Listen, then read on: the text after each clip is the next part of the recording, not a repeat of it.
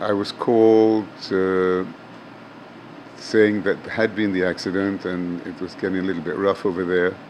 So I ran over there. My uh, my sons were there. Then the police came and said they they couldn't guarantee the safety of the area, and they asked all the Jewish people who were there to leave. Uh, things got went from bad to worse. Some of them went running around the streets, and uh, a few hours later, a couple of hours later, they uh, four or five blocks away, they, they met Yankel Rosenbaum, and uh, he was stabbed several times.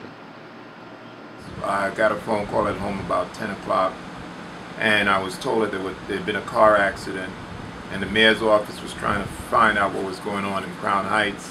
We went out on Eastern Parkway, and we began to talk with both sides. We spoke to the young people in the Hasidic community, we spoke to young people in the black community, and tried to quell the anger that had been developing between both groups.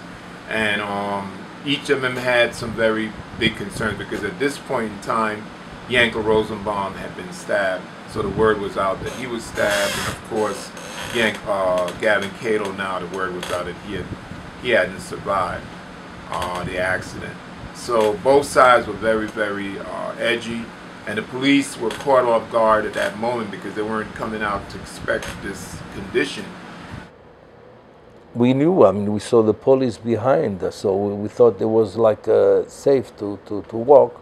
There were a bunch of uh, teenagers, you know, of black teenagers. I don't know, maybe uh, about 40, 50. And they were all together and chanting, Jew, Jew, Jew, Jew.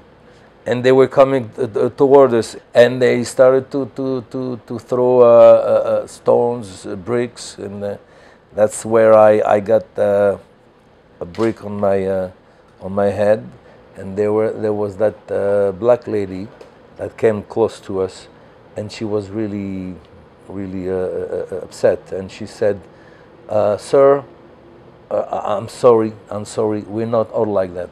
We know that a lot of of, of, of, of the people here in the, in the Crown Heights from the black community are nice people."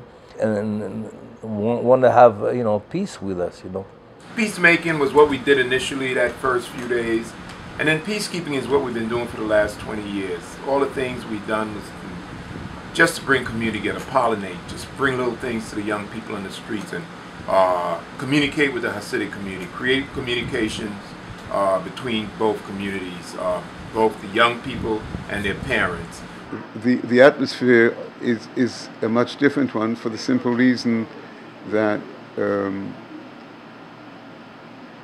the black community doesn't see the Jewish community as a threat to them, as was portrayed by the rebel rousers of, of, of the early 90s.